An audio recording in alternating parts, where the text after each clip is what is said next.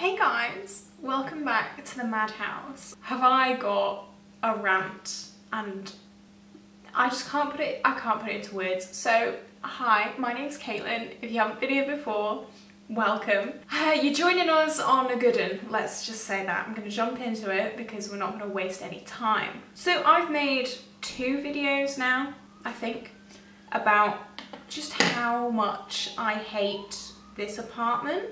It's not the apartment, it's the people, okay? I live in a studio apartment. Everything's great, everything's dandy with the actual apartment. It's the people who I always constantly live by. Um, so I moved in here in September into a different apartment across the car park. So I moved in across the car park and I had to move out within like a month because my neighbours were absolutely disgusting human beings. Having parties, uh, having just smoking, having parties 24 7 when they slept, I don't know because I sure didn't sleep.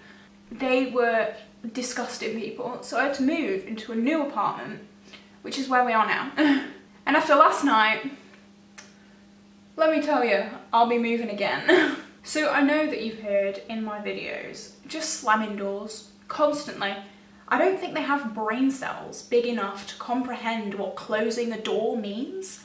It's, it's mental. They just open a door and then just let it go. And it doesn't matter if it's 1pm or 1am, they don't care. Uh, they're gonna slam that door, wake everyone up, and just be inconsiderate beyond belief. so the girl opposite, a girl used to live opposite, she was absolutely amazing. She was beautiful. Autumn, if you're watching this, hey girl, love you. She had to move out because it was so bad. We were emailing the office. I look like, we were emailing the office pretty much every week, just saying, look, this has happened, they're smoking weed, we can smell weed in our apartments. All the way down the corridor, it stinks of weed. They're slamming doors at 2am, they're screaming down the corridors at 2am, what are you gonna do about it? Well, send them an email. Yeah, thanks. The emails did absolutely nothing, as you can tell in my videos, because the amount of door slams that I edit out of my videos is absolutely unreal. They should be paying me because that's a whole new job, just editing out door slams. I'm a bit angry if you can tell. So last night comes around. Autumn, again, if you're watching this, thank the I thank God that you weren't here because you would have started an absolute fight. Midnight, okay, midnight. Loads of people start going into their apartments. I'm like, we're in a pandemic, but whatever. I'm, I'm not there. You go get COVID. I don't care. I can hear beer bottles. I can hear shouting. I can hear screaming. But I'm thinking, at the end of the day, they're in their apartment. Whatever they do in their apartment, I can't really hear. It's when they're in the corridor. But um, did they jinx me because they decide that they're going to take all their conversations out into the corridor. Not only into the corridor, right outside my door. I'm half deaf, okay? I haven't really told many people. I'm half deaf in my right ear. I'm mm, about 80% deaf in my right ear. I can hear every word. I shouldn't be able to hear anything, okay? I can hear every single word that they're saying because they're stood right outside my door shouting at like 1am. So I shout back and I shout, shut up, which I think they thought was a joke because then they just proceed to get louder. Slamming doors at one, half one by this point, half one, 2 a.m. at this point. So I'm getting really upset because I just want to sleep. That's all I want to do. I want to just go to sleep. It's 2 a.m. I'm tired. Let me go to sleep. I lie in bed, right? I'm right, lying in bed, I'm ready to go to sleep. I'm lying on my good ear, so I can't hear anything. Well, that was the thought anyway, I could still hear everything. So then what happens? I hear a scream coming from the car park, which sounds like someone's getting stabbed, okay? My first thought was, oh my god, someone is in immense pain right now because they are screaming for their life. So I look out my window and I see people opposite, in the block opposite, doing hard drugs, screaming, and just their windows open because they're obviously smoking weed and doing all that other stuff. And their, their windows open, we can all hear it. Not only are they doing that, They are screaming. Okay, so our apartments are like a U shape, right? They're here, they're screaming to some girls on the first floor, opposite. And they're just having a conversation at half two in the morning, screaming, high out of their mind, while I'm having doors being slammed on one end.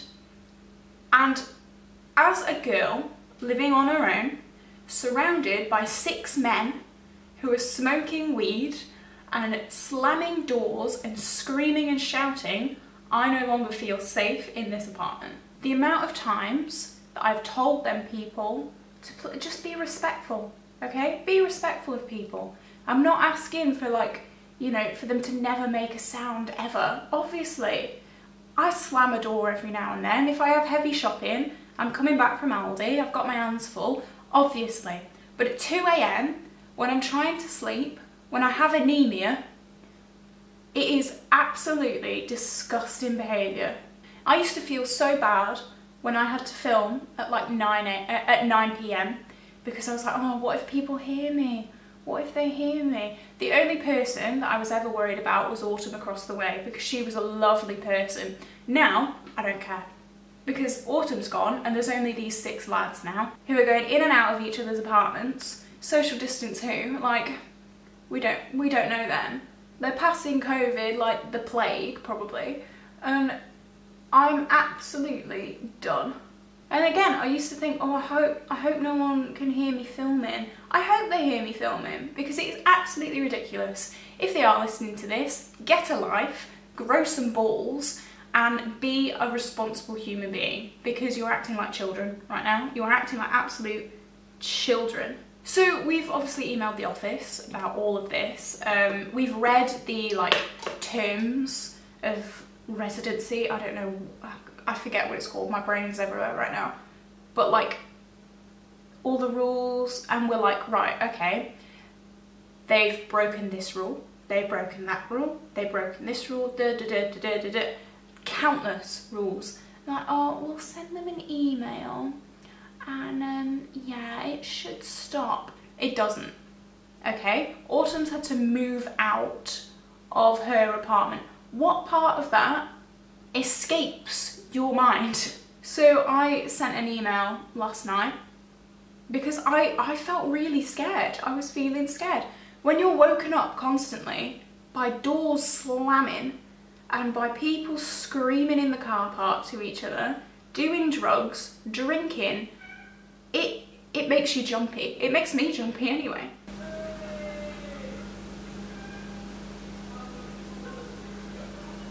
So I sent an email basically saying, I feel like I'm living in a zoo. I, I really do. I feel like I'm living in a zoo with people who just don't give a crap about anyone else around them. I feel like I've done everything that I can. I've done everything. I've spoken to them. I've emailed. I've I've done everything I can. Nothing is happening. There was another incident. Basically, a very expensive parcel has been stolen. The office said, oh, can't do much about that, sorry. Can't do much about that? Well, I'm getting the police involved in it because it's theft. And it's happened on your premises so what are you going to do about it? They do not, as long as they get their rent, they don't care. And that's why I've chosen to start looking at new apartments. There is no security at all. There's no, no receptionist. The code to the doors doesn't even work. So you just open the door and be in the apartment. I'm sorry, what? it's been broken for months on all doors, all public doors, wide open. Come in.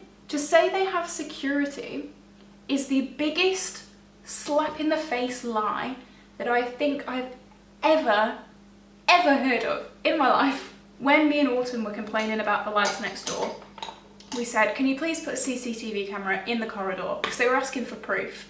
How do we get proof? How do we, do you want us to just go in their apartment and just film them? We can't do that. So we said, put a CCTV temporarily in the public corridor. Can't do that. Why not?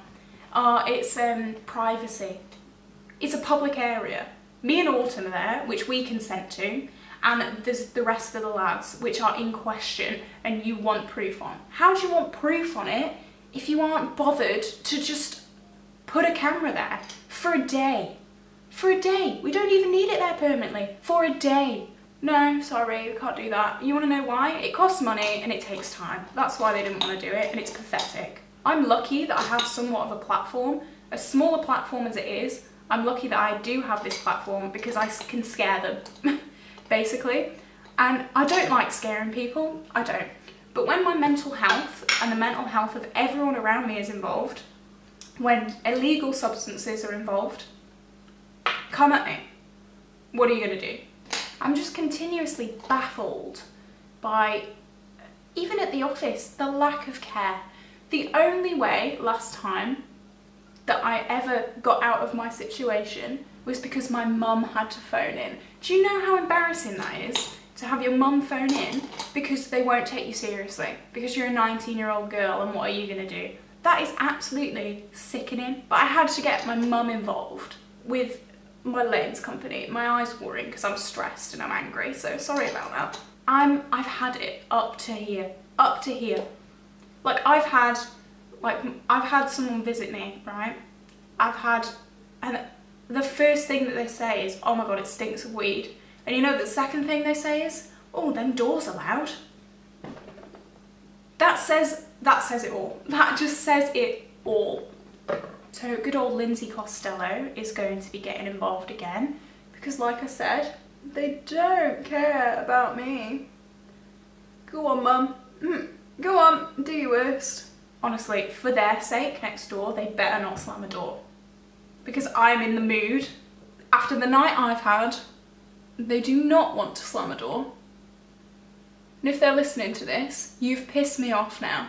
I feel I'm I said to the, them in the email that I sent last night, I'm jealous of my old neighbour because she got out. I tried to get out before and they just sod me off with another apartment. She's managed to escape. Honestly, I'm so happy for you, Autumn. I could not be happier for you because honestly, I tried to get out and they just gave me another shitty apartment. They lied to me, okay, they lied to us because they said, oh yeah, we've given you this apartment, no one's complained here, Autumn's been complaining for months. So what do you mean no one's complained here? That's a lie. The amount of lies that we've caught them out on is absolutely mind-blowing. And it's all because they're too lazy or it costs too much to sort stuff out. Well, I hope you did enjoy my rent because you're not having it anymore. Um, sorry. And honestly, normally, right, because I've been through a lot in my life, I'm terrified of people finding these videos where I rant. I'm so scared and I'm like, oh my god, what if they shout at me? I don't care. What are you gonna do? You're gonna shout at me for making this video? Sort your life out then. So yeah, not only are my uni involved, my mother is involved, the council was involved, I basically, when I was living across the way, across the car park, I got the council involved and I was like, oh, well, yeah, they've given me a new apartment now, so like everything's fine. Oh, I'm getting them back on the phone ASAP because that's ridiculous. So council are involved and soon the police will be involved as well because I've had a parcel stolen. And it wasn't a cheap parcel, let's say that. Oh, now I've got mascara all over my finger. It's just, it's a perfect day. It is everything I dreamed of and more. Um, yeah, let me just clean clean this muck off. I'm back. Hi. I am in my onesie as well. I didn't even say that because I was so caught up. I've had no sleep.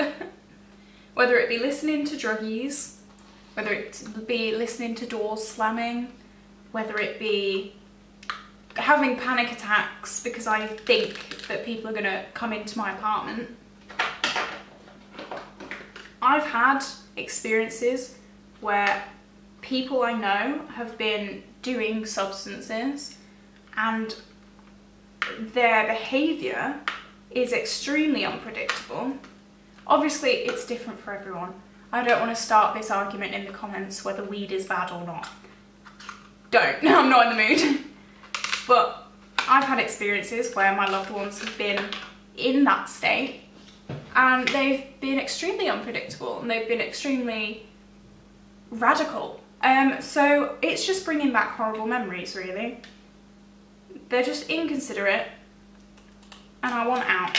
I'm wearing new lashes today, so let's give these a bash. Anyway, how are you? How's your life going? Hopefully better than mine. I can't get these out. Like, hold.